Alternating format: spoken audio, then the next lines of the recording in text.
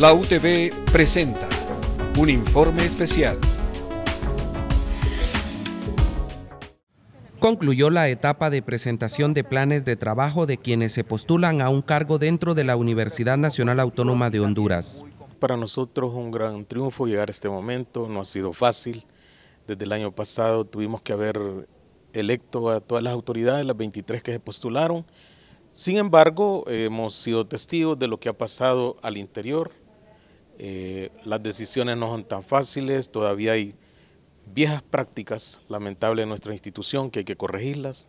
Sin embargo, seguimos con todo el deseo de contribuir a la gobernabilidad y la gobernanza de esta institución.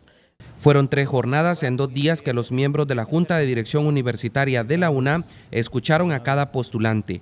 El martes por la mañana se presentaron los aspirantes a la Vicerrectoría Académica y a la Decanatura de la Facultad de Ciencias Económicas, Administrativas y Contables, mientras que por la tarde lo hicieron los aspirantes a la Vicerrectoría de Relaciones Internacionales y a la Decanatura de la Facultad de Ingeniería. No tenemos ya espacio para no elegir, tenemos que elegir. Creo que tenemos los candidatos que hemos observado para poder darle a esta universidad los mejores profesionales académicos que van a contribuir y que van a formar parte también del Consejo Universitario.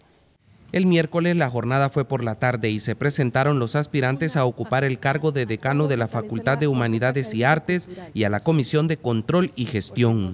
Lo que sigue es la celebración de la sesión eh, del Pleno de la Junta, en donde haremos la elección ya con los datos que tenemos de evaluación de, de todos los postulantes, en todos los cargos. Y eso tiene que ser la próxima semana.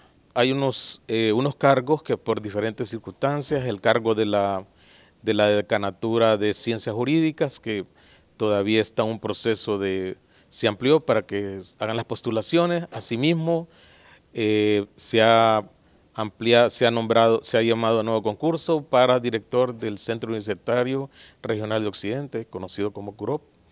Aún quedan pendiente la elección definitiva del decano o decana de la Facultad de Ciencias Jurídicas como el director o directora del centro universitario ubicado en el occidente del país. Francio Vera, UTV. Este fue un informe especial de la UTV, voz e imagen de la Universidad Nacional Autónoma de Honduras.